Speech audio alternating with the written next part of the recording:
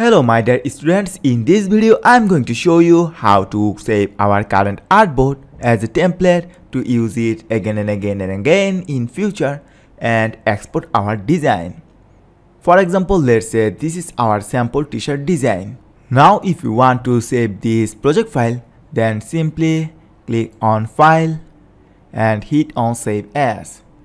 Then choose your destination folder, this time I choose desktop and file name I just simply type happy birthday t-shirt. Save as type this time I choose .ai AI is a Adobe Illustrator file format. And after that I just simply hit on save.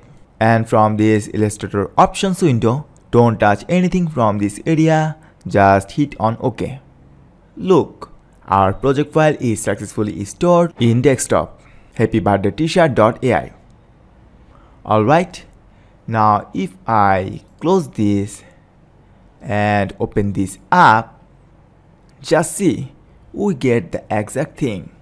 All these layers, colors, these text blocks are is the same. And using this Adobe Illustrator file project, you can easily edit this later and make this better in future.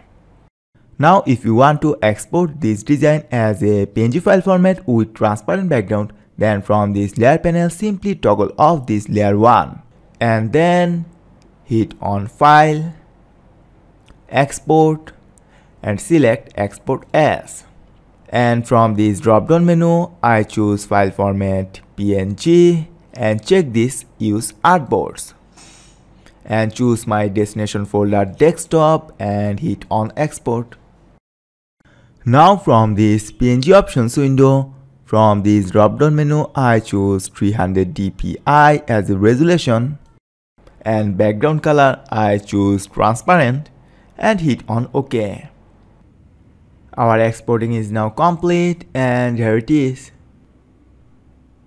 Our sample design with transparent background.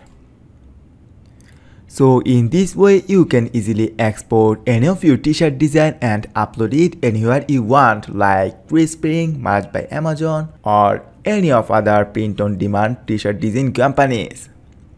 Thank you so much for watching.